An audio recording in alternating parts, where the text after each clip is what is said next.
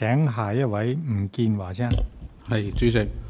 啊，首先我要指出咧，政府呢個土地共享計劃咧，根本係解決唔到香港嘅深層次社會矛盾。如果政府真係關心香港人買樓嘅問題，咁點解當有發展商願意補地價去申請改變農地用途嘅時候，增加供應嘅時候，就俾城規會用種種理由，例如地盤與公屋項目重疊去阻攔？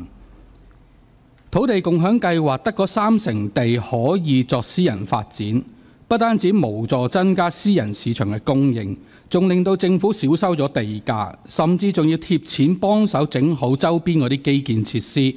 仲要隨時要幫手賠錢俾啲寮屋住戶。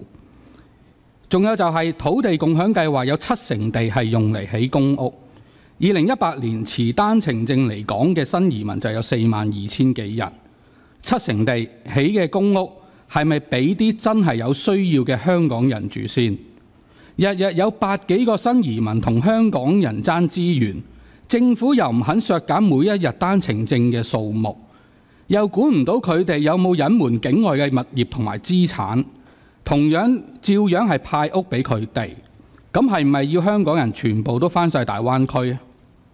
所以特區政府如果真係關心香港人住屋同埋買樓，應該一取消所有印花稅嘅辣招，二。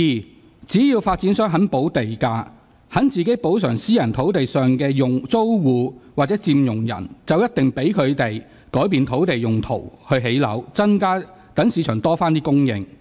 三，只有三粒星嘅香港人先可以做公屋戶主同埋有戶籍。四，全面審查新移民所有公屋户嘅全球資產，等公屋資源可以有效咁樣落到真係有需要嘅香港人身上。唔該。